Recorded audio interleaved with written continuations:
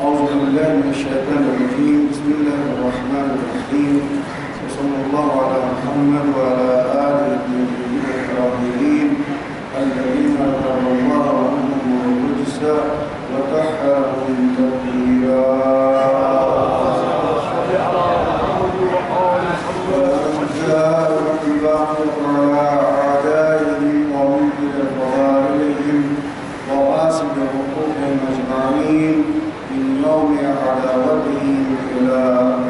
يوم الدين أما بعد الله أوصيكم ونفسي بتقوى الله. فإن التقوى خير المعاد. يوم لا ينفع مال ولا إلا من أتى الله بقلب سليم. وصلى الله على محمد وعلى الطاهرين أما بعد فقال رسول الله صلى الله عليه وآله وسلم بسم الله الرحمن الرحيم. ستمر أمتي بخمسة أدوار.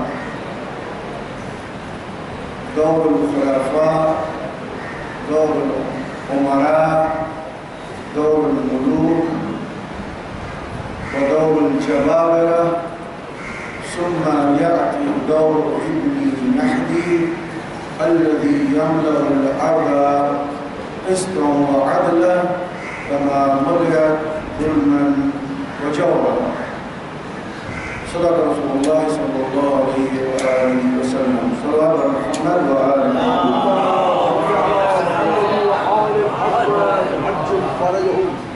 میرے محترم سامعین ناظرین مومنین کرام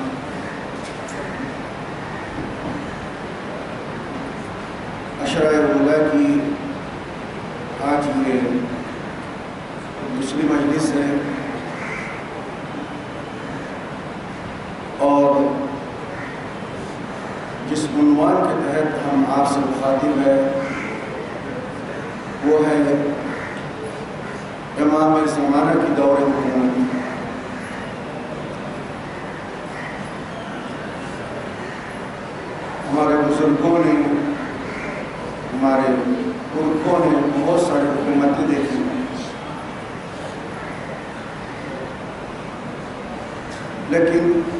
ابھی تک شاید ہمارے بزرگوں میں سے کسی نے وہ حکومت نہیں دیکھی جس کی ان کی دلی خواہش ہو۔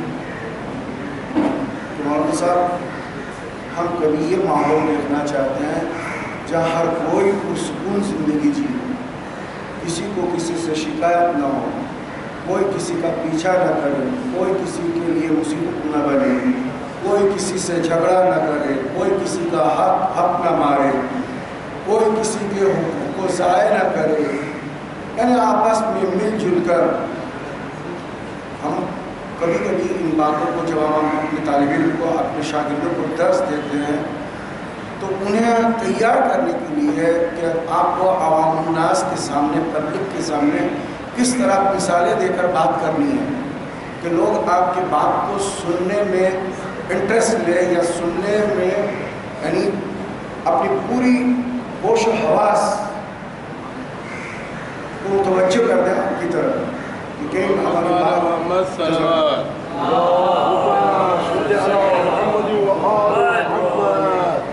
آپ کی بات ضائع نہ جائے جانور اگر آپس میں لڑے تو سمجھ میں بات ہے کہ بس عقل نہیں ہے۔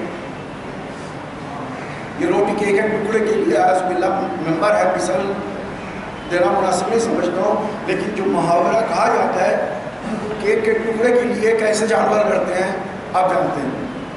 اسی طرح سے آج انسان اتنا گر گیا اور کیا یعنی میں ہمیشہ کوشش کرتا ہوں، اللہ میرے دل کے حال سے بہت زیادہ واقف ہے کہ میں لوگوں کو ان کے اسٹیٹس سے اوپر لا سکوں۔ یہ جو اشرف المخلوقات ہیں یعنی دنیا کا سربسرشت، سب سے بہترین مخلوقات کی شکل میں اللہ نے آپ کو بنایا اور قرآن نے کہا یہی انسان کبھی اپنے نیکیوں کے ذریعے، اپنے اچھے کار، کام کے ذریعے فرشتوں سے بلند ہو جاتا ہے۔ یاد رکھیں فرشتہ نہیں، فرشتوں سے بلند ہو جاتا ہے۔ اور یہی انسان ہے جو اپنی نازبہ حرکتوں کی وجہ سے جانوروں سے پست ہو جاتا ہے۔ یعنی وہ کام جو جانور سے بھی ہم امید نہیں رکھتے، یا کام، وہ کام جو جانور نہیں کرتے، وہ انسان کر رہا ہے۔ صحیح بولنا ہے کہ غلط بولنا وہ کام جو جانور بھی نہیں کرتے، ایک دوسرے کے ساتھ، ایک دوسرے کے ساتھ جس طرح کے لوگ جانور نہیں کرتے، انسان انسان کے ساتھ رہ رہے ہیں پھر اشرف المخلوقات ہونے کا فائدہ کیا ہوگا کب ہم سویلائزڈ ہوں گے؟ کب ہمارا زندگی میں وہ دن ہم دیکھیں گے کہ جس میں ہر کوئی اپنے فیملی کے ساتھ ہو، دوست احباب کے ساتھ ہو، رشتہ داروں کے ساتھ ہو، اڑوس پڑوس کے لوگوں کے ساتھ ہو، محلے والوں کے ساتھ ہو، گاؤں والوں کے ساتھ ہو، شہر والوں کے ساتھ ہو، ایک ایسی زندگی گزارے کہ اس کو دیکھ کر یعنی آپس میں ایک دوسرے کو دیکھ کر ایک تسلی ہو، ایک سکون ملے کہ ہاں واقعہ ہم ایسی زندگی جی رہے جس کی تمنا ہر انسان کرتا ہے۔ اور یہ کب ہوگا دوستوں معلوم ہے؟ صرف اور صرف امام وقت کے آنے کے بعد؟ یہ وعدہ ہے اللہ کا۔ یہ بندوں کا وعدہ نہیں ہے، یہ اللہ کا وعدہ ہے اور وہ پورا کر کے رہے گا۔ لیکن یہ الہی حکومت جو قائم ہوگی، کس بیس پر؟ آپ جانتے ہیں، آج کل دنیا میں، کیونکہ پوری دنیا پر میں نگاہ رکھتا ہوں اسے یہ پورے اطمینان اور کانفیڈنس کے ساتھ بات کرتا ہوں، ہندوستان کے قانون آپ پاکستان میں نہیں چلا سکتے۔ پاکستان کا قانون بنگلہ دیش میں نہیں چلا سکتے یا بنگلہ دیش کا قانون جو ہے وہ بھوٹان میں یا تھائی لینڈ میں نہیں چلا ہے ہر دیش کا، ہر ملک کا اپنا دستور ہوتا ہے۔ وہاں کی ضرورتوں کو، وہاں کی سہولتوں کو، وہاں کے عوام، وہاں کے لوگوں کی عادت و اخبار کو دیکھ کر قانون بنائے جاتے ہیں۔ تاکہ کسی کو پریشانی نہ ہو، سب قانون کے ساتھ کوپریٹ کرے اور سب ایک بہترین زندگی جیے۔ یہ دنیا کا دستور ہے۔ اسی حساب سے ہر ملک کے قوانین میں کچھ نہ کچھ ایسے تفرقے ہیں۔ یا ڈیوائڈنس ہے کہ جس کو آپ دوسرے ملک میں لاگو نہیں کر سکتے، جس کو اس ملک میں وہ قانون نہیں چل پائے گا۔ اس ملک کے عادت و اتوار کے رہن سہن الگ ہے جب امام زمانہ آئیں گے تو صرف ایک حکومت ہوگی اور ساری دنیا کے لیے ایک قانون ہوگا۔ آپ سمجھ سکتے تو پھر وہ قانون کتنی پلاننگ کے ساتھ بنائی گئی ہوگی وہ سارے قانون بنایا ہوگا، کیا ہوگا؟ اور وہ کس قدر یعنی قانون بنانے والا انسانیت کے نفسیت سے واقف ہوگا کہ وہ قانون ہر جگہ کے لیے، ہر ضرورت مند کو سوٹ کرے گا؟ سوچیے، وہ کیسا الہی قانون؟ ہوگا جو ہر ملک کے لوگوں کو سوٹ کرے گا، ہر ملک کے لوگ اس کو اپنانے اپنائیں گے اور خوشی خوشی اپنائیں گے۔ اور باقاعدہ ان کی یہ آواز ہوگی کہ ہم تو اسی کا انتظار کر رہے تھے۔ وہ قانون نافذ کریں گے امام زمانہ لیکن دوستوں صرف قانون بنانا ہی کافی نہیں ہے۔ قانون بہت بنتے ہیں۔ اور جو لوگ قانون بناتے ہیں، وہی لوگ توڑتے بھی بھی اب دیکھیے ہندوستان میں بہت سارے قانون ہیں جو صرف غریبوں پر لاگو ہوتا ہے امیروں پہ وہ قانون لاگو نہیں ہوتا۔ قانون سب کے لیے ہے۔ جو خود قانون بنا رہا ہے، پارلیمنٹ میں بیٹھ کے پاس کروا رہا ہے، خدا کی قسم وہ خود بھی اس قانون پر عمل نہیں کرتا کیوں؟ اس کے پاس پیسہ ہے۔ وہ قانون کو خریدتا ہے۔ بھلے میں نے بنایا، لیکن یہ قانون غریبوں کے لیے میرے لیے نہیں ہے۔ صحیح بولنا ہے؟ پریکٹیکل بات ہے ہندوستان میں آپ سب جانتے ہیں۔ قانون وہ بناؤ جو تم نافذ کر سکو۔ ہر ایک کے لیے۔ امیر ہو، غریب ہو، سورس والے ہو، بغیر سورس والے ہو، ہر کوئی اس قانون کو دل سے مانے۔ دیکھیے، زبردستی کوئی کام اگر آپ کسی سے کرائیں گے تو ہو سکتا ہے ٹیمپوراری ہے، موقع وہ آپ کی بات سن لے، کر لے گا۔ مثال کے طور پر یہ جو سگنل کا قانون ہے سگنل کا قانون ہے کہ لائٹ جب ریڈ ہو جائے تو آپ کو رکنا ہے۔ گرین ہو جائے تو آپ کو چلنا ہے۔ اگر ٹریفک پولیس کھڑا ہے، اس سنگل پوسٹ کے نیچے سگنل پوسٹ کے نیچے اگر ٹریفک پولیس کھڑا ہے، تو بائک والا بھی رک جاتا ہے کار والا بھی رک جاتا ہے۔ اس کو ڈر ہے کہ اگر آگے نکل گئے تو چالان چالان کٹ جائے گا لیکن اگر کوئی پولیس والا نہیں ہے، دیکھا موقع اچھا ہے، خالی ہے، کوئی دیکھنے والا نہیں ہے، نکل جائے گا۔ کیوں؟ یہ قانون اس نے دل سے اپنایا نہیں۔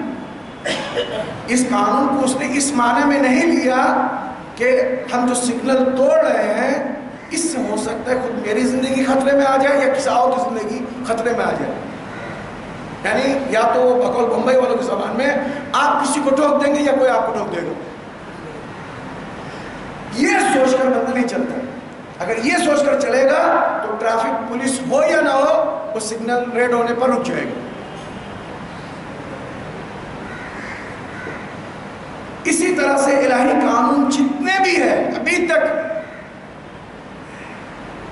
دنیا کے کسی بھی ملک میں نافذ نہیں کیا جا سکا۔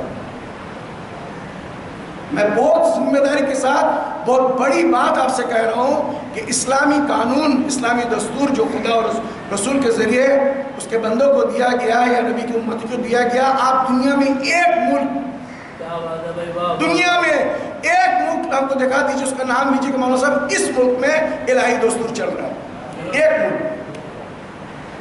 میں پوری چیلنج کے ساتھ بات کروں دنیا میں کوئی ملک اس وقت ایسا نہیں ہے جس میں الہی قانون چل رہا ہو ہاں الہی قانون سے انہوں نے کچھ ملک سب نہیں کچھ ملک ہے، جنہوں نے الہی قانون سے سہارا لے کر اپنے مرضی سے اس کو ترتیب دیا ہے۔ آپ سمجھ رہے کہ اشارہ کافی ہے؟ نام دیا الہی قانون کا، لیکن اس کے اندر ان کی مشیت، الہی مشیت نہیں، ان کی مشیت، ان کی مرضی شامل ہے۔ اور کہا یہ مانو گے تو تم بچ جاؤ گے۔ صرف اللہ کی نہیں، ہمارے کی سننی پڑے گی۔ صحیح؟ دنیا میں کسی بھی ملک میں جائیے لہذا امام زمانہ علیہ السلام جب آئیں گے تو کہا جاتا ہے کہ آپ وہ قانون لائیں گے جو دنیا کے ہر فرد کو سوٹ کرے گا، ہر ملک اس کو اپنائے گا اور بخوشی اپنائے گا۔ کیونکہ ہر پہلو سے اس پہ نظر رکھی جائے گی، دیکھ کر حالات کے حساب سے قانون بنائے جائیں گے۔ ایک، دوسرے، قانون نافذ کرنا یہ سب سے سخت کام ہوتا ہے۔ بنانا اتنا مشکل نہیں ہے۔ جتنا قانون کو نافذ کرنا کہ لوگ اس کو ایکسپٹ کریں، لوگ اس کو تسلیم کریں، لوگ اس کو مان لیں، دل سے مان لیں۔ ٹریفک پولیس نہ ہو تو سگنل توڑ کے نہ بھاگے۔ کب یہ ہوگا جب وہ دل سے مانے گا؟ نہیں۔ قانون ہے تو اس کو فالو کرنا ہے۔ یہ قانون نافذ کب ہوگا؟ جب قانون بنانے والا ٹائٹ ہوگا۔ اور قانون بنانے والا ایک ایک قانون کے اوپر پوری نگاہ رکھا رہے گا۔ اور اس کے فالو کرنے یا فالو نہ کرنے کی جو ترتیبات ہے، اس کو بھی آنن فانن جس کو بولنا چاہیے آن دا اسپوٹ اس کو پکڑا جائے گا۔ اسی لیے جب کہا گیا کہ امام زمان علیہ السلام کی حکومت ہوگی تو یہ سارے سارے دستور انشاءاللہ اگر زندگی رہی تو میں آپ کو سناؤں گا ان کے دستور عمل کیسے ہوں گے کس طرح کے لوگ ان کے منسٹری میں ہوں گے یا ان کے جس کو کہنا چاہیے معاون۔ ہم یہ نہیں کہہ سکتے ان کے مشاور ان کو کسی کے مشورے کی ضرورت نہیں ہوگی۔ معاون یعنی ان کے ساتھ مل کے کام کو آگے بڑھانے۔ جس طرح ہر امام کے معاون رہے ہیں نبی کے معاون رہے ہیں۔ تو معاون کیسے ہوں گے؟ کوالٹیز کیا ہوں گی، کیفیت کیا ہوں گی، ان کو کس طرح سے ٹرینڈ کیا جائے گا یا کس طرح سے امام ان کو ایسی پاور دیں گے؟ میں چھوٹی سی بات آپ کو کہتا ہوں۔ یاد رکھیے، امام جب قانون نافذ کریں گے یا قانون بنا لائیں گے، اس قانون کو نافذ کرنے کے لیے امام کے پاس وہ پاور ہوگا کہ کوئی آدمی چاہ کر بھی قانون توڑ نہیں سکے گا۔ توڑنا تو دور کی بات ہے۔ چاہ کر بھی قانون توڑ نہیں سکے گا، کیونکہ امام کی طرف سے ایسا سسٹم ہوگا کہ جیسے وہ توڑنے کو سوچے گا آٹومیٹک مثلا ایک مثال دے رہا ہوں، ایک پریکٹیکل مثال جو ہمارے بزرگوں نے اور عفان نے بتایا کہ یہی سگنل قانون اگر امام نے بنا دیا کہ ریڈ لائٹ کے بعد تم رائٹ کراس نہیں کر سکتے، تو آٹومیٹک اس کی گاڑی ریڈ لائٹ پہ رک جائے گی اور وہ کتنا بھی گیئر پہ ہاتھ رکھ کے، یا گلاس دبائے کچھ بھی دبائے اس کی گاڑی حرکت کر ہی کر ہی نہیں سکتی۔ یہ پاور ابھی کسی میں نہیں ہے۔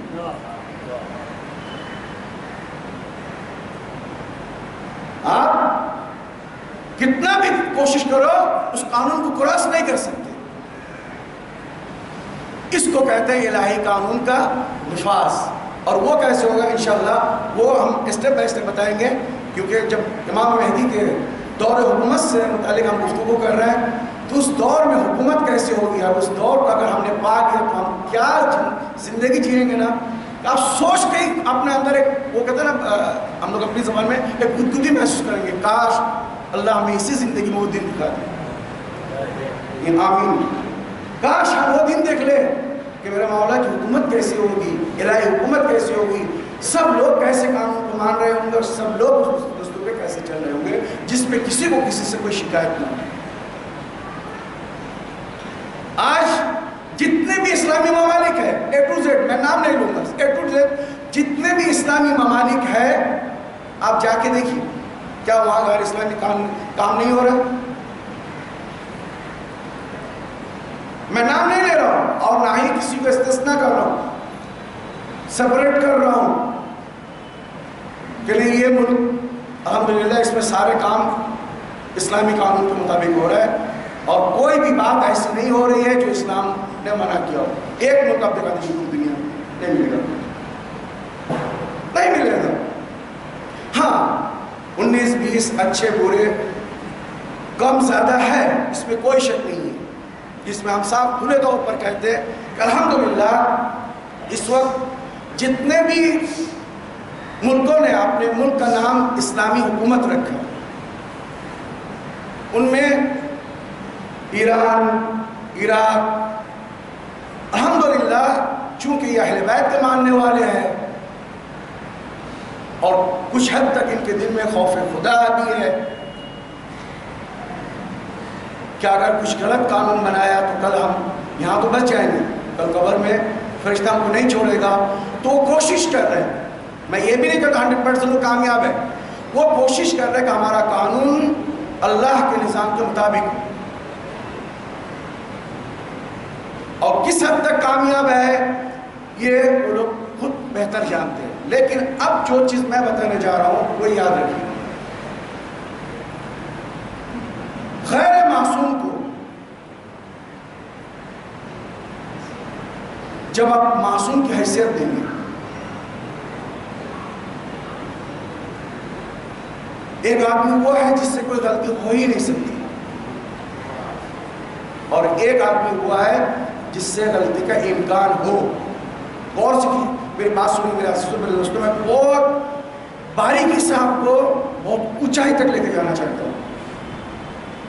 معصوم، آج تک پوری دنیا کے کسی بھی دستور میں یا کسی بھی کتاب میں آپ نہیں دکھا سکتے کہ کسی امام نے کوئی بات کہنے کے بعد بعد میں پستا کہ عوام الناس سے معافی مانگو، سوری، وہ اس وقت میں نے جلدی جلدی میں فیصلہ لے لیا تو مجھ سے غلطی ہوئی۔ دکھا سکتے ہیں؟ باللہ سبحانہ باللہ۔ کوئی ایک رسول خدا سے لے کر اب تک معصومین نے ہمیں جو دستور زندگی بتایا، جو ڈیسیزن ہمیں دیا، یا ڈیسیزن انہوں نے لیا، کسی ایک ڈیسیزن بارے میں آپ بتا دیجیے کہ میرے مولا نے وہ ڈیسیزن لیا تھا، بعد میں پستا کہ انہوں نے اپنا ڈیسیزن واپس لیا تھا۔ نہیں ملے۔ یہی فرق ہے معصوم کے بنائے ہوئے دستور میں اور غیر معصوم کے بنائے ہوئے دستور میں۔ جو لوگ، میں صاف بول رہا ہوں اوپنلی آج جو لوگ غیر معصوم کو معصوم کا درجہ دے رہے ہیں، وہ سن لیں میرے نظر میں، ان میں اور ان لوگوں نے، ان لوگوں میں جنہوں نے حضرت علی کی جگہ دوسروں کو بیٹھایا تھا۔ میں زیادہ فرق محسوس نہیں کرتا ہوں۔ یہ میری اپنی نظریہ ہے، اس میں کسی کا دخل نہیں۔ کیونکہ انہوں نے بھی وہی غلطی کی۔ بس فرق اتنا ہے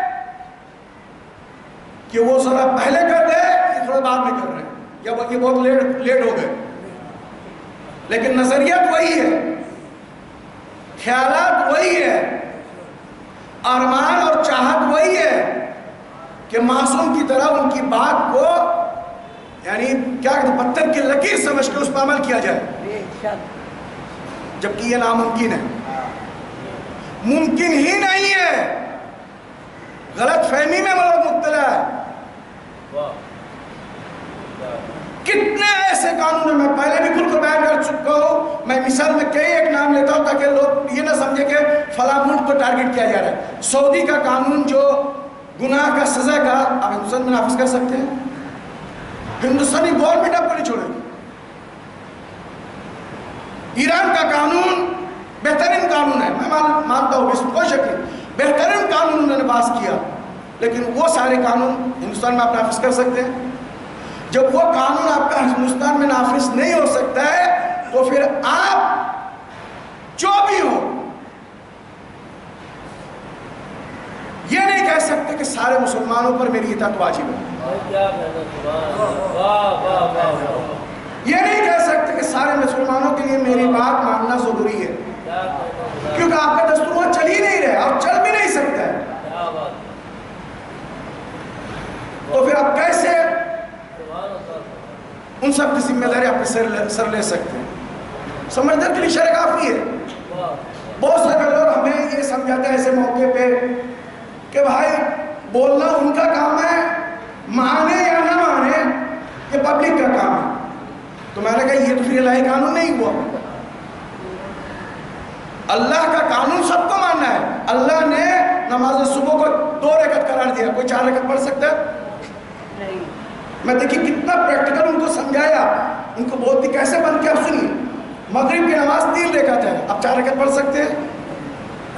آپ کا کوئی ہاتھ آپ چار رکعت کیا؟ چار سو رکعت بھی پڑھو کوئی آپ کا ہاتھ نہیں پکڑے گا۔ لیکن پھر بھی آپ نہیں پڑھتے۔ کیوں؟ یہ الہی قانون ہے۔ یہ اللہ کی طرف سے معین ہے، آپ اس میں نہ کم کر سکتے، نہ زیادہ کر سکتے۔ ہیں لیکن وہی آپ اپنے بنائے ہوئے قانون میں دیکھیے کتنے اس میں آپ کو شعبے رکھنے پڑتے ہیں۔ یہاں استثناء ہے، یہاں استثناء ہے، یہاں استثناء ہے، یہاں چھوڑ سکتے ہو، یہ کر سکتے ہو، وہ کر سکتے ہو۔ لیکن کتنے بھی بیمار ہو، یہ نہیں ہے کہ ایک رکعت صبح کی نماز پڑھ لو، کافی ہے۔ اچھے ہیں، بھلے، چنگے بھی ہو، تب بھی دو رکعت پڑھنا ہے۔ بیمار ہو تب بھی دو ہی رکعت پڑھنا ہے۔ آپ سمجھ رہے ہیں میں کیسے بات کو پہنچنے کی کوشش کر رہا ہوں؟ تو الہی قانون میں کوئی تبدیلی نہیں کر سکتا، لیکن بندوں کے قانون میں تبدیلی ہو سکتی ہے۔ جب بندوں کی قانونوں میں تبدیلی ہو سکتی ہے، تو پھر کسی شخص کو یعنی غیر معصوم کو یہ حق نہیں ہے کہ وہ اپنے آپ کو تمام امت مسلمہ کا سرپرست یا ذمہ دار سمجھے۔ کیونکہ اس کی زندگی میں آپ وہ قانون لاگو نہیں کر سکتے۔ تو پھر آپ اس کی ذمہ دار کیسے ہو سکتے ہیں؟ اس کا حقوق آپ اس کو نہیں دلا سکتے۔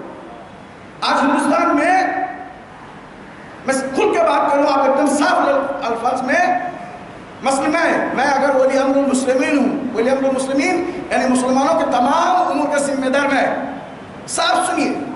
اور سب کے لیے بالکل اور بات چونکہ ریکارڈ ہو رہی ہے اور دنیا تک پہنچ رہی ہے، تو جس کو بھی ملے وہ غور کرے۔ میں اپنے لیے بات کر رہا ہوں کہ میں ولی امر المسلمین ہوں یعنی مسلمانوں کے سارے امور کی ذمہ داری میرے سر ہے۔ آج ہندوستان میں کتنے مسلمانوں پر ظلم ہو رہا ہے؟ آج ہندوستان میں یا ایک مثال کے طور پر میں نے پیش کیا، برما میں، نائجیریا میں، کتنے ملک آپ دنیا کے دیکھ لیجیے، جہاں مسلمانوں پر اتنا ظلم ہو رہا ہے، آپ ان کو اس کا حق کیوں نہیں دلا رہے؟ آپ ذمہ دار ہے نا؟ آپ اپنے آپ کو ولی امر المسلمین کہتے ہیں نا کہ مسلمانوں کے سارے امور کی ذمہ داری اس وقت میرے سر پہ ہے۔ تو پھر آپ ان کا حقوق ان کو دلا دیجیے اگر ان کا آپ اپنا آپ ان کا حقوق ان کو دلا نہیں سکتے، تو ان پر اپنا قانون نافذ کرنے کی کوشش بھی مت کیجیے یہ وہ میسج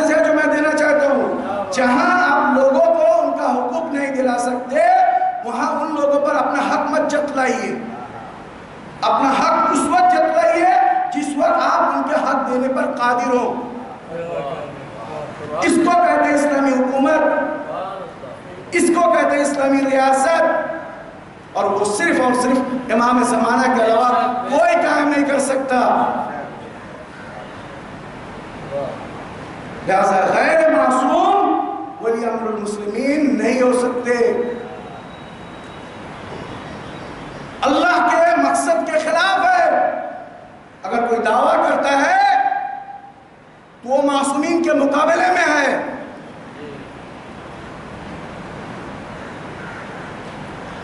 بہت سوچ سمجھ کر بات کر رہا ہوں اور جن تک میرا محسوس پہنچ رہے وہ بھی اعتراض سے میرے سو بار سوچے کیونکہ میری ایک پہچان ہے۔ میں ہوا میں بات کرنے والا انسان نہیں ہوں۔ میں کوئی بھی بات کرتا ہوں تو سو بار اس کے پیچھے بیک گراؤنڈ کی سوچ کے بات کرتا ہوں۔ اور الحمدللہ یہی وجہ ہے، عزت دینے والا خدا میرا رسول ہے۔ آج تک میں نے بمبئی میں جو جو بھی ڈیسیزن لیا، خدا کا شکر ہے بمبئی کی کسی عالم نے میری بات کی تردید نہیں کی یا میری بات کو کٹ نہیں کیا۔ کیونکہ وہ لوگ جانتے ہیں یہ شخص ذمہ دار انسان ہے، غیر ذمہ دارانہ بات نہیں کرے گا۔ ہم ہوا میں بات کرنے والے انسان نہیں ہیں۔ مجھے مرنا ہے، آپ شاید مجھے بخش دو گے رعایت کر کے چھوڑ دو گے کہ مولانا جانے دو۔ لیکن میں اگر غلط بیانی سے کام لوں گا، میرا خدا نہیں مجھے چھوڑے گا۔ اہل بیت ہمیں نہیں چھوڑیں گے۔ مرنے کے بعد نہ میں آپ کے قبر میں آؤں گا نہ آپ میرے قبر میں آئیں گے۔ مجھے اپنے عمل کا حساب دینا ہے۔ لہٰذا میں جو بھی بات کروں گا سوچ سمجھ کے کروں گا۔ اور اگر کسی کے متعلق میں کوئی کمنٹس کرتا ہوں تو پہلے سو بار سوچتا ہوں کہ مجھے کمنٹس کرنا چاہیے نہیں کرنا چاہیے۔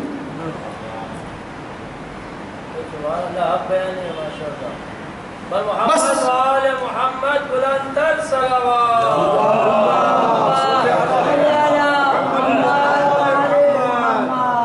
عزیز و دوستو یہ یاد رکھیے کہ ہم جس حکومت کا انتظار کر رہے ہیں۔ جیسے کہ حدیث میں خبر کر دیا خبر دیا گیا۔ میں پھر ایک بار حدیث کا ترجمہ کر دوں تاکہ آپ کو ریمائنڈ آپ کی ریمائنڈ ہو جائے۔ نبی کریم صلی اللہ علیہ وسلم نے فرمایا صوفہ تمر او ستمر امتی بعدی بے خمسط ادوار۔ میرے بعد میری امت پانچ مراحل سے گزریں گے۔ پانچ دور سے گزریں گے۔ دور الخلافہ سب سے پہلے خلیفاؤں کا دور ہوگا۔ اور آپ جانتے ہیں بھیڑ بکریوں نے بھی خلافت کی۔ حافظ قندوزی کی ایک بات مجھے اتنی اچھی لگی۔ آپ یقین مانیے جبکہ وہ پڑھایا حافظ قندوزی اہل سنت کے مشہور عالم ہے اور اس کی کتابیں بھی بڑی معتبر مانی جاتی ہے اس نے امام زمان علیہ السلام کے حوالے سے ایک بات لکھی، بہت اچھی لگی، واقعی بات چھونے والی بات۔ اور کیا دلیل دی اس نے؟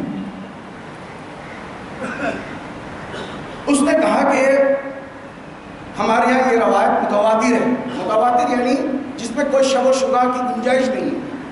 متواتر روایت ہے کہ امام زمانہ جس وقت زور فرمائیں گے، تو اس وقت جناب عیسیٰ بھی اتریں گے آسمان سے۔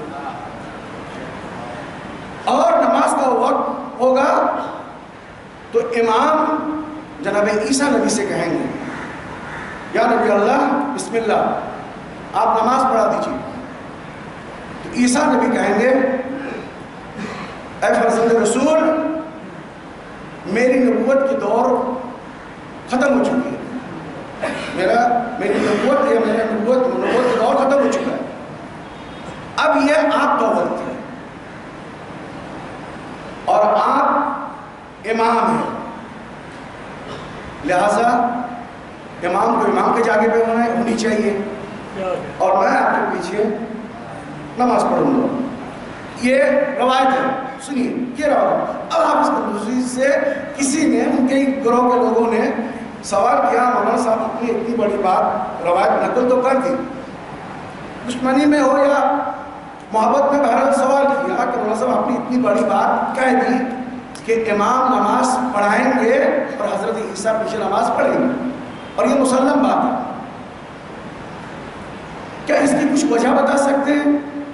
حافظ قندوزی سے پوچھا گیا، جنہوں نے ینابی المعدہ جنہوں نے لکھا، آپ جانتے ہیں۔ حافظ قندوزی سے پوچھا گیا کہ آپ اس کی وجہ بتا سکتے ہیں کہ کیوں امام آگے ہوں گے؟ جبکہ نبی کے بعد امامت کا دور ہے، آیا۔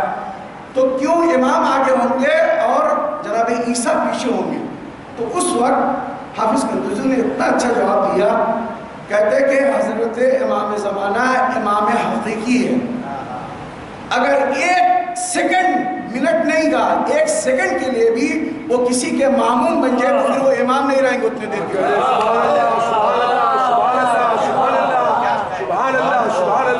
ایک سیکنڈ کے لیے امام زمانہ کے لیے جائز نہیں ہے، یہ لفظ وہاں پر دیکھ لیجیے روایت کا۔ امام زمانہ کے لیے جائز نہیں ہے کہ بھی وہ کسی کے پیچھے معموم بن کر نماز پڑھے۔ تو آخری امام کے لیے اگر جائز نہیں ہے کسی نبی کے پیچھے معموم بن کر نماز پڑھنا تو وہ مسلمان جو کہتے ہیں حضرت علی کس کے کس کے پیچھے نماز پڑھے امام اول کے لیے کیسے جائز ہے کہ وہ کسی بھیڑ بکری کے پیچھے نماز پڑھے انصاف تو کرو بھائی تمہارے ہی کتاب سے تمہارے ہی بزرگ علماء تمہیں تمہیں بتا رہا ہے کہ امام مہدی کے لیے جائز نہیں ہے کوئی ایک سیکنڈ کے لیے بھی معموم بن جائے کیونکہ اتنے دیر کے لیے وہ امام سے خارج ہو جائیں گے معموم بن جائیں گے اور امام حقیقی کبھی معموم نہیں بن سکتا۔ تو ہمارا پہلا امام حضرت علی بھی امام حقیقی تھے۔ امام حسن بھی امام حقیقی تھے۔ امام حسین بھی امام حقیقی تھے۔ پھر یہاں انصاف سے کیوں نہیں کام لیتے کہ ان کے بارے میں کیوں نہیں کہتے کہ علی کے لیے جائز نہیں تھا کہ فلاں کے پیچھے کھڑے ہو جاتے۔ یا فلاں کی اتباع کر لیتے۔ اللہ توفیق دے۔ امام زمانہ کا سے ایک واقعہ سنا تھا، میں کچھ اور بولنا تھا، لیکن آج پھر میرا ٹائم بہت کم ہوتا جا رہا ہے۔ ایک مرتبہ ایک غریب سید امام سے ملنا چاہتا تھا۔ سید خزمین ان کا نام ہے وارث زمانہ سے ملاقات اس میں پورے داستان لکھا ہوا سید خزمینی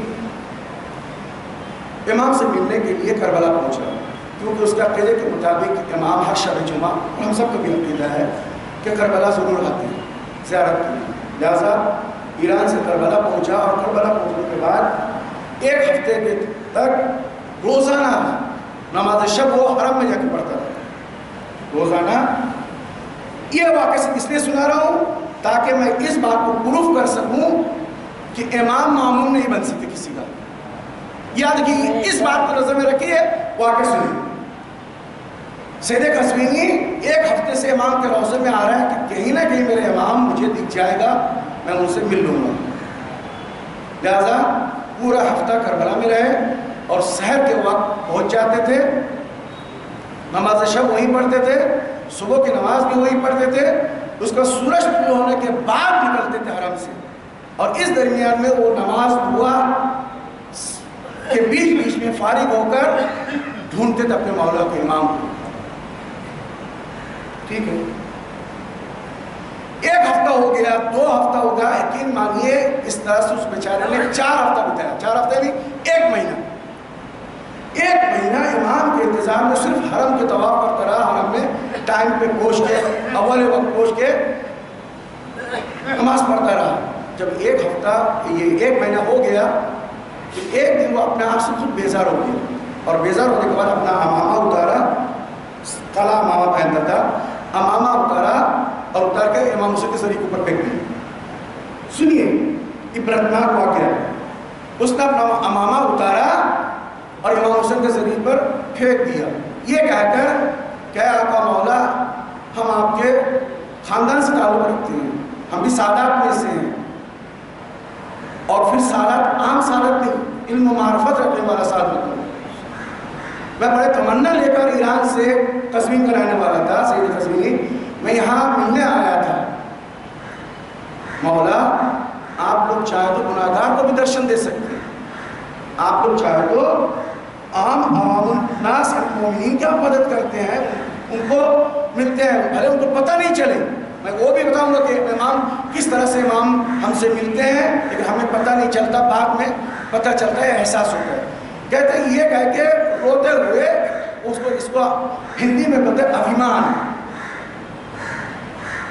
ایک چاہت ہے ساتھ میں ایک ناراضگی بھی ہے کہ مولا اگر ہم اس لائق نہیں ہے کہ آپ کے درشن پا سکے آپ سے ہماری ملاقات ہو، تو یہ سیادت بھی آپ کی، یہ امامہ بھی آپ کا، میرا سارا علم و معرفت میں یہیں چھوڑ کے جا رہا ہوں۔ آج سے کھیت میں کھیتی باڑی کروں گا، ایک عام دیہاتی کی طرح سیکھی ہوں۔ یہ کہہ کر سحر کے وقت اس نے امامہ زری پہ ڈالا اور حرم سے باہر نکل جا رہا تھا۔ جب حرم سے باہر نکلنے لگا تو جہاں وہ جوتے رکھتے جو لوگ زیارتوں پہ گئے، وہ لوگ جانتے ہیں، جوتے رکھنے کی جگہ بنے ہوئے۔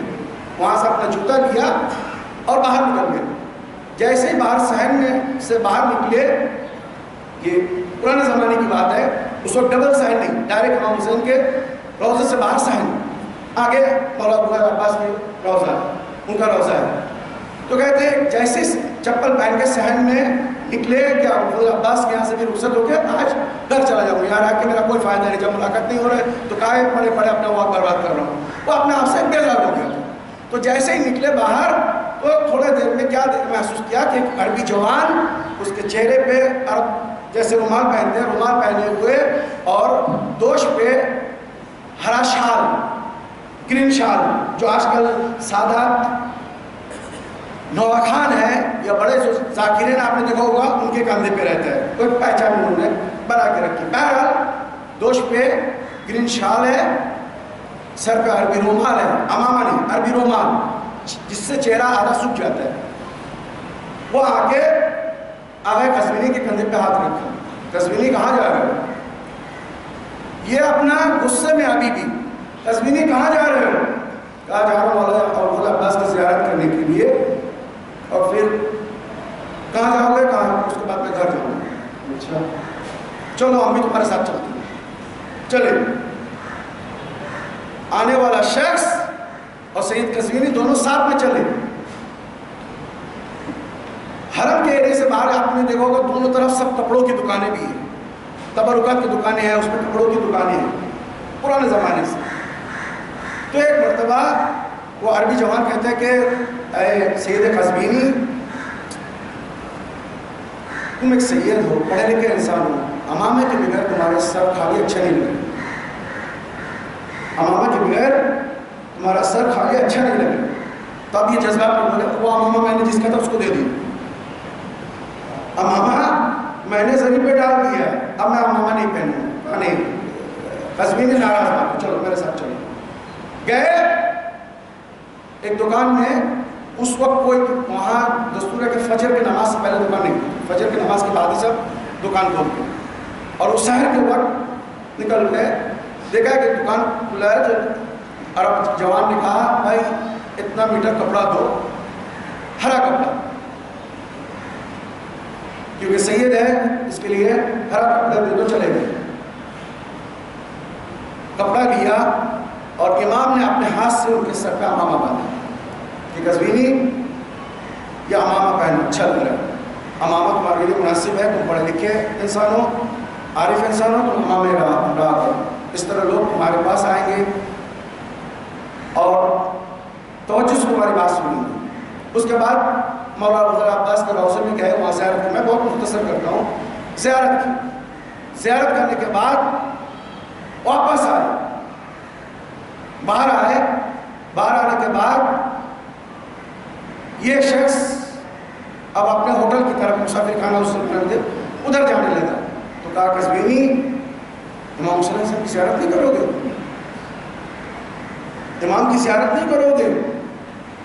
کہا کہ میں کر کے آیا ہوں؟ کہا، ابھی تو صبح کی نماز نہیں ہوئی حرم میں نماز پڑھو، ثواب زیادہ ہے، اس کے بعد زیارت پڑھو۔ مولا سے توسل کرو، یقیناً تمہاری مراد پوری ہو جائے گی۔ کیا کہا؟ کہ جاؤ، صبح کے اذان میں حرم امام میں جاؤ اور نماز پڑھو۔ مولا سے توسل کرو، تمہاری نیت پوری ہو جائے گی۔ اب یہ بے خودی میں سننے تو جا رہا ہے، لیکن کچھ ریاکشن ظاہر نہیں کر رہے چلو میں چلتا ہوں تمہارے ساتھ۔ وہ سید عرب جو آیا تھا، کیا بولنے لگے؟ چلو میں تمہارے ساتھ چلتا ہوں۔ ساتھ چلے دونوں۔ حرم میں داخل ہوئے اتنے میں صبح کی اذان ہو رہی تھی۔ یہ پورا ریل واقعہ سنی اذان ہوئی۔ اذان ہوئی تو وہاں جو حرم میں اس وقت سید عبد الکریم الحائری، وہ نماز پڑھاتے تھے۔ مشہور ہے۔ ان کا حائری کہتے ہیں اس لیے نماز پڑھا رہے تھے۔ تو ان کو کہا کہ تم صفحہ اول میں کھڑے ہو جاؤ۔ یہ جا کے بیچارہ بالکل صفحہ اول میں عبداللہ حائری کے پیچھے عبد الکریم حائری کے پیچھے کھڑے ہو گئے نماز پڑھنے کے تو انہوں نے کہا، آپ نماز نہیں پڑھیں گے؟ کہا، میں پڑھوں گا، آ رہا ہوں، تم جاؤ میں آتا ہوں۔ آنے والا جوان عرب نے کہا، تم جاؤ، میں آ رہا ہوں۔ ٹھیک ہے، یہ جا کے کھڑے ہو گئے۔ اب یہ نہیں میں کیا سوچا سید قزمی نے کہ شاید بیچارے وضو سے نہیں ہوں گے، اسی لیے وضو وضو کرنے گئے ہوں گے، تو وضو کر کے آ جائیں گے۔ بہرحال، ادھر اذان ختم، اقامت دی، مولانا نے اور نماز شروع کر دی۔ جیسے نماز شروع کر دی تو اتنے میں وہ عربی جوان آ کے اس امام کے یعنی آیت اللہ عبدالکریم الحائری کے بازو میں تھوڑا سا ان سے آگے کھڑے ہو گئے۔ تھوڑا سا ان سے آگے کھڑے ہو گئے اور اپنی نماز شروع کر دی۔ اچھا اس وقت نیت بن چکا باندھ چکے تھے۔ اب یہ نیت توڑ کے پوچھ تو نہیں سکتے، بھائی پیچھے آ جاؤ، امام کے آگے نماز نہیں پڑھنا چاہیے۔ یہ کیا کر رہے ہو؟ یہ ریئل واقعہ کہتے ہیں، وہ بیچارہ نماز پڑھتا تو رہا۔ لیکن وہ پریشان رہا کہ یہ شخص امام کے آگے کیسے کھڑے ہو کے نماز پڑھتا ہے؟ ہم کو اتنی اچھی ہدایتیں کرتی۔ اس کو اتنا بھی نہیں معلوم کہ امام کے آگے کھڑے ہو کے نماز نہیں پڑھنا چاہیے، کہ جماعت میں امام کے پیچھے ہونا چاہیے۔ کہتے ہیں، اس نے اللہ اللہ خیص اللہ کیسی بھی کر کے جلدی سے نماز پڑھی اور تشہد جیسے ہی ختم ہوا، تشہد کا اللہ اکبر بول کے ایک دم اٹھا کہ جا کے اس کو پکڑوں کہ تم نے ہمیں اتنی اچھی باتیں سکھائی اور نماز پڑھتے وقت تم نے امام کے سامنے کھڑے ہو کے نماز پڑھی۔ امام کے پیچھے نماز نہیں پڑھی، بس اتنا کہہ کہ وہ سجدہ شکر میں گیا اور کہتے نماز کے بعد ہم لوگ سجدہ شکر کرتے، پھر اٹھتے، اٹھ جاتے۔ ہیں جیسے سجدہ شکر میں گیا کہ اٹھ کے اب ان سے پوچھوں گا، جیسے اٹھ کے دیکھا تو اسلام میں کوئی نہیں۔ اب نہ وہ جوان عربی نہ وہاں مسلح نہ سجدہ کچھ بھی نہیں۔ تو ایک لوگ گھبرا کے امام صاحب سے پوچھا بھائی آپ کے قریب تھے سب سے زیادہ یہاں جو آدمی نماز پڑھ رہا تھا وہ کدھر گئے بولا کون میرے نماز پڑھ رہا تھا؟ ارے آپ کے بازو میں کھڑے ہو کے ایک جوان نماز پڑھ رہا تھا فرادہ نماز پڑھ رہا تھا۔ اس نے ہم کو سارا آپ, کی جیسا جماعت پڑھانے کے لیے وہاں مولا عبد عباس کے روزے سے پکڑ کر لے کے آئے۔ مجھے خود جماعت میں کھڑا کر دیا اور خود فرادہ پڑھ کے چلے گئے۔ کہا کہ تم کا کیا ہو گیا؟ تم کو سید یعنی وہ شخصیت تھی۔ کہا، سید کیا ہو گیا؟ یہاں کوئی نہیں تھا۔ میں نماز پڑھا رہا تھا۔ میرے بازو میں کس کی ہمت ہے جو الگ سے اپنی ڈیڑھ کی مسجد کھڑی کر لے؟ کوئی نہیں تھا۔ کہا کہ میرے بھائی کا میں غلط نہیں دیکھا۔ میرے سامنے نماز پڑھتے ہوئے دیکھا۔ اب جب سب لوگ چلے گئے، تب عبد الکریم حائری نے ان کو قریب بلایا۔ اور بلانے کے بعد ان کے کان میں کہا یہ بات کسی کو بتانا نہیں کہا کیا کہا کہ وہ تمہارے امام وقت تھے وہ معمول ان کی نماز نہیں سکتے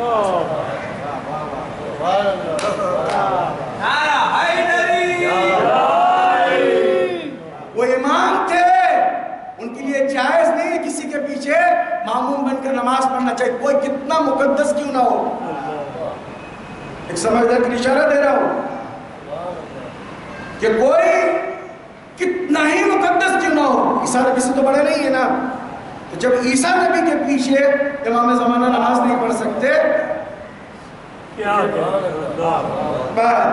انشاءاللہ کل میں باتیں آگے بڑھوں گا میں ایک بار صلوات پڑھے محمد والے محمد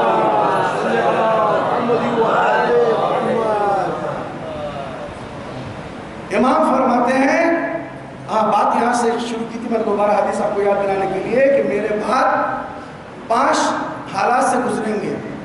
لوگ میری امت ان حالاتوں سے گزرے گی۔ پہلا دور خلیفہ کا دور ہوگا، خلافہ کا دور۔ دوسرا دور عمرہ کا ہوگا۔ جزاک اللہ مجھے بہت اچھا لگتا ہے جب کوئی آدمی سپورٹ کرتا ہے کہ کہاں؟ بندہ سن رہے غور سے میری بات۔ عمرہ کا دور ہوگا۔ امیر شام وغیرہ امیر فلاں وہ سب نام ہے امیر کوفہ وغیرہ امیر عمرہ کا دور ہوگا تیسرا ملوک، بادشاہوں کا دور ہوگا۔ عباسی بادشاہ اور انومیہ کے بادشاہ ہوگا کیا ہیں چوتھا دور جبابرہ کا ہوگا۔ یعنی جو زبردستی کے قبضہ کر لے گا وہی اس کی حکومت ہوگی۔ یا جس پارٹی، جو پارٹی والے جہاں جیتیں گے، وہاں اس کی حکومت ہوگی۔ یا تیسرا میں نے اس کتاب میں بتایا جمہوریت کے نام پہ حکومت رسکائی جائے گی، نام دی جائے گی یہ جمہوریت ہے، لیکن چلے گی انہی لوگوں کی جن کی طاقت ہے۔ اور یہی وہ دور ہے جس سے ہم گزر رہے ہیں۔ اور اسی کے فوراً بعد اب کچھ انتظار مت کرنا میرے بھائی۔ اب کچھ نہیں بچا ہے۔ اور نبی صادق الامین ہے۔ نبی نے فرمایا جبابرہ کے بعد سمیات دور ابن مہدی، اس کے بعد میرے بیٹے کی دور ہے۔ اب اب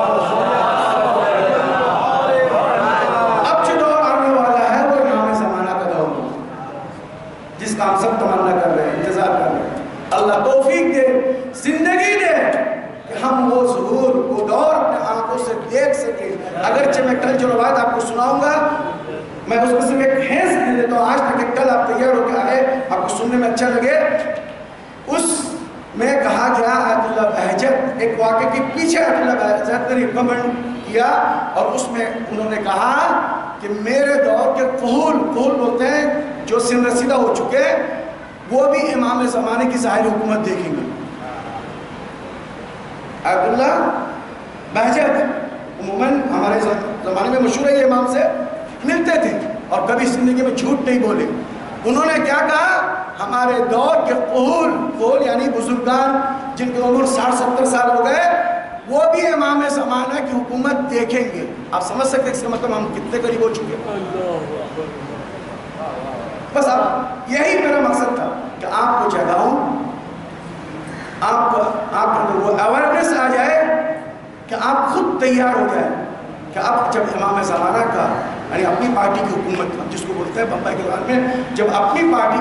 آنے والی ہے تو ہم کو اس کے لیے پریپریشن کرنا ہے۔